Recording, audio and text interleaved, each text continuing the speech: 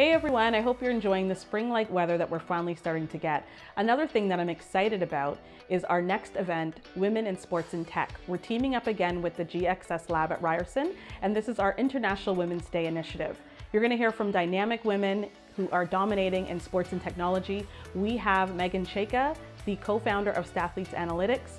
We have Camille Wallace, who's working with the Canadian Olympic Committee in the digital department working on partnerships. We have Jessica Hartwick, who is working at Heart and Stride. They provide development and skills training through their Blade technology treadmill. And we also have Arwina Mogul, who is in the esports landscape and runs her own company. So come out. I invite all of you guys to come and hear from these women, to meet other women in sports. And you know what? We're going to have a great time. Can't wait to see you there.